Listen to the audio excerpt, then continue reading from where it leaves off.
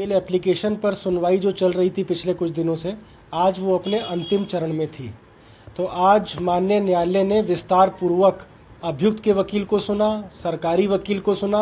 और हमको मौका दिया कि हम अपनी बात अदालत के सामने रख सकें और पीड़िता के पक्ष में जो बात कहनी है, जो दलीलें देनी है, वो खुलकर अदालत के सामने रख सकें। तो सब लोगों की दलीलें सुनने के बाद माननीय न्यायालय ने यह उचित समझा कि निर्णय को सुरक्षित कर लिया जाए इसलिए न्यायालय ने निर्णय सुरक्षित कर लिया गया है और बाद में अब इसका फैसला सुनाया जाएगा। देखिए कोई समय सीमा निर्धारित नहीं की गई है जजमेंट के अंदर कि कब सुनाया जाएगा फैसला बट हम ये उम्मीद करते हैं कि चूँकि काफ़ी